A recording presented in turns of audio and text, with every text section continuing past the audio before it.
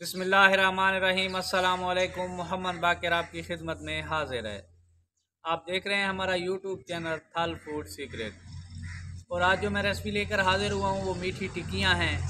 मीठी टिक्कियाँ कैसे बनाई जाती हैं और ये बनाने के लिए हमें किन किन चीज़ों की ज़रूरत होती है। वीडियो शुरू करने से पहले अगर आप हमारे चैनल पर न्यू हैं तो हमारे चैनल को सब्सक्राइब करें और बेल आइकान के बटन को प्रेस करें, ताकि हर नई आने वाली वीडियो बर वक्त आप तक पहुँच सके। अगर वीडियो अच्छी लगे तो दोस्तों और फैमिली मेंबर के साथ शेयर करें। आइए अपनी ये आसान सी रेसिपी शुरू करते हैं। मीठी टिक्कियाँ बनाने के लिए हमें जिन जिन चीज़ों की ज़रूरत है, वो आपके सामने है। दूध है, थोड़ा सा ज़ीरा है, नारियल है, तिल है ग्रैंड की हुई चीनी है, और मैदा है, और देसी घी है। आइए ये आसान सी रेसिपी शुरू करते हैं। तकरीबन 300 ग्राम मैंने मैदा ले लिया है। अब इसमें चीनी शामिल करने लगे हैं। ये ग्राइंड की हुई एक प्याली चीनी है।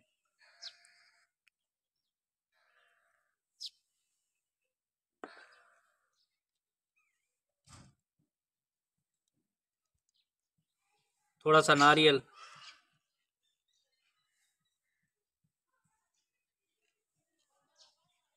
थोड़े से तिल, सफ़ेद तिल।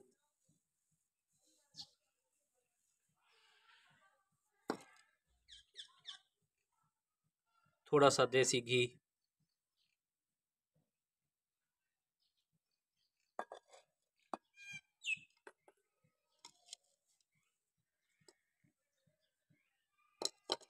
थोड़ा सा ज़ीरा है हाथों पे मसल कर।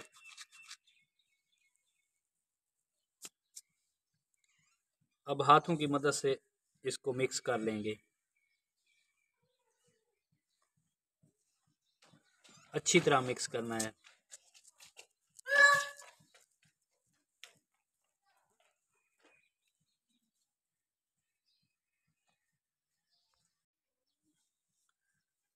अच्छी तरह मिक्स करके हाथों की मदद से ऐसे ऐसे कर लेना है, ताकि एक जान हो जाए, मैदा और चीनी, नारियल वगैरह।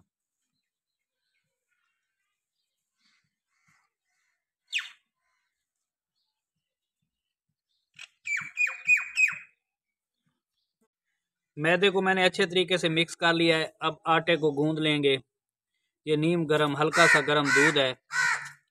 ये शामिल कर लेंगे।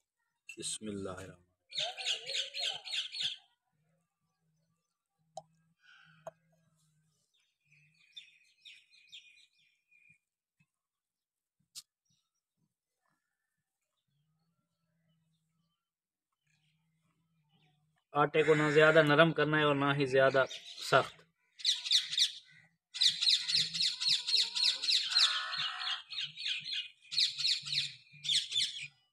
आटे को अच्छे तरीके से मैंने गूंद लिया है, ये देखें। ना ज़्यादा नरम है और ना ही ज़्यादा सख्त है। थोड़ा सा आयल लगा देंगे।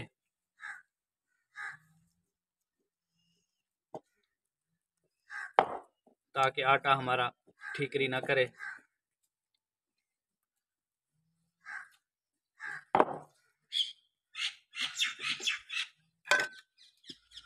तकरीबन 30 मिनट के लिए इसे स्टे पे रख देंगे और 30 मिनट बाद टिक्कियाँ बनाएँगे। माशाल्लाह से आटे को स्टे पे रखे हुए 30 मिनट हो गए हैं। अब इसकी रोटी बना लेंगे। इसके पेड़े बना लेंगे। माशाल्लाह से पेड़ा मैंने बना लिया है, ये देखें। अब इसे बेल लेंगे। माशाल्लाह से आपके सामने ये देखें, पेड़ा मैंने बेल लिया है। एक बरीक रोटी बना लिया अब एक गिलास की मदद से इसकी टिक्कियाँ बना लेंगे। बिस्मिल्लाह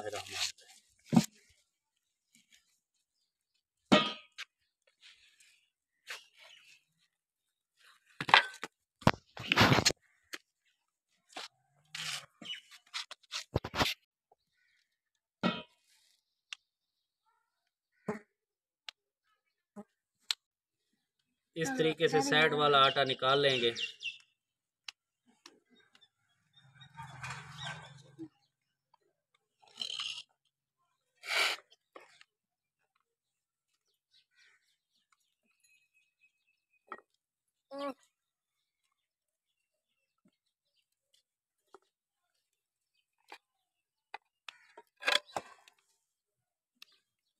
ये देखें टिक्की माशाल्लाह से हमारी तैयार है।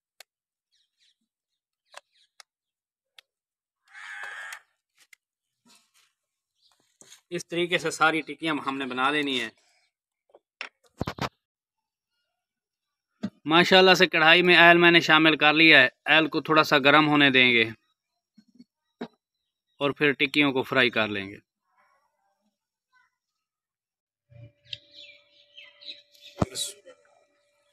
गैस को थोड़ा सा स्लो कर देना है, क्योंकि ये ऊपर से जल जाएँगी, अंदर से कच्ची रह जाएँगी।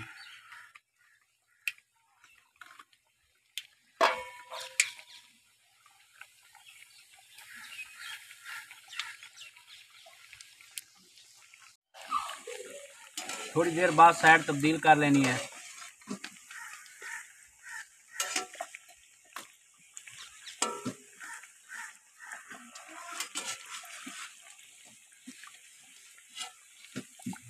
ये मीठी टिक्कियाँ बड़ी ही मज़ेदार बनती हैं।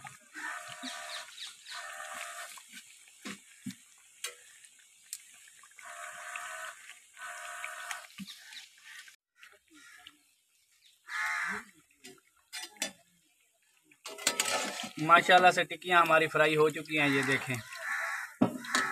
अब इन्हें जाली वाले बर्तन पे रखते जाना है।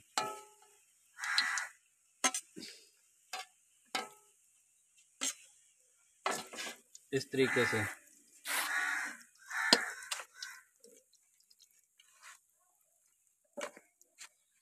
ताकि आयल इनका निचड़ जाए।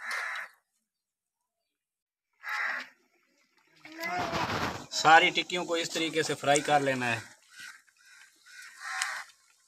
आप भी इस आसान सी रेसिपी को अपने घर में ज़रूर ट्राई कीजिएगा।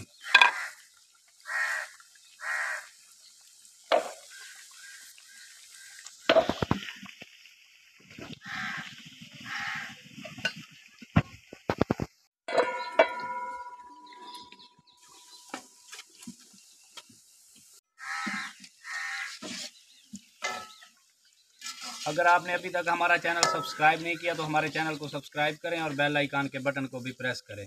अगर वीडियो अच्छी लगे तो दोस्तों और फैमिली मेंबर के साथ शेयर करें। माशाल्लाह से सारी टिक्कियाँ मैंने बना ली है, ये देखें। माशाल्लाह से कितनी प्यारी बनी है और कितनी खस्ता बनी है, ये देखें। आवाज़ भी आई होगी आप लोगों को, ये देखें। अंदर से कितनी क्रिस्पी हैं, ये देखें। मुकम्मल तौर पर पक चुकी है। फैनल लुक देखें, माशाल्लाह से कितनी प्यारी बनी है। अगर हमारी वीडियो अच्छी लगी हो तो हमारे चैनल को सब्सक्राइब करें और बेल आइकान के बटन को प्रेस करें ताकि हर नई आने वाली वीडियो बर वक्त आप तक पहुँच सके। दुआओं में याद रखिए, मोहम्मद बाकर को दीजिए इजाज़त, अल्लाह हाफिज़।